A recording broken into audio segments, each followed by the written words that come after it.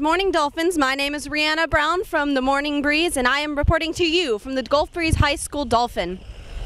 We have a new addition to our school, rolling into our cafeteria. That's right, you've guessed it, the new Gulf Breeze High School food truck. The Dolphin food truck will be available every Thursday, and is also available in all three lunches and to free and reduced students.